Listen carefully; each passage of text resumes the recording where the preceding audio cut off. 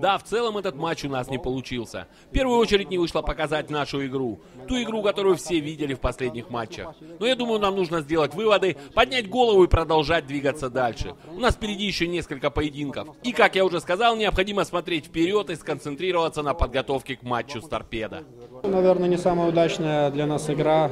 Вот, много брака было и в первом, и во втором тайме. Вот, но при этом мы, в принципе, старались, мы бились, поэтому до конца а, Наверное, забив пенальти, э, довели бы дело до логического конца, но это футбол, такое бывает, поэтому идем дальше, ничего страшного. Ну, начнем с того, что, в принципе, не защитники ходят в атаку, правильно, поэтому э, в большей степени, наверное, у нас впереди не все получалось, поэтому э, не было проникающих передач, очень насытили скажем так, центр, поэтому тяжело было туда нам попадать, проходить. Поэтому, не знаю, кого не хватало, наверное, решать вам. Я думаю, последние игры, наверное, есть не, не, не, небольшой такой груз давления, потому что цена ошибки очень велика, поэтому, ну, скорее всего, да, психология, нам надо от этого отходить. Э, и тренер нам в раздевалке сказал, что, в принципе, надо показывать свой футбол, а не смотреть таблицу.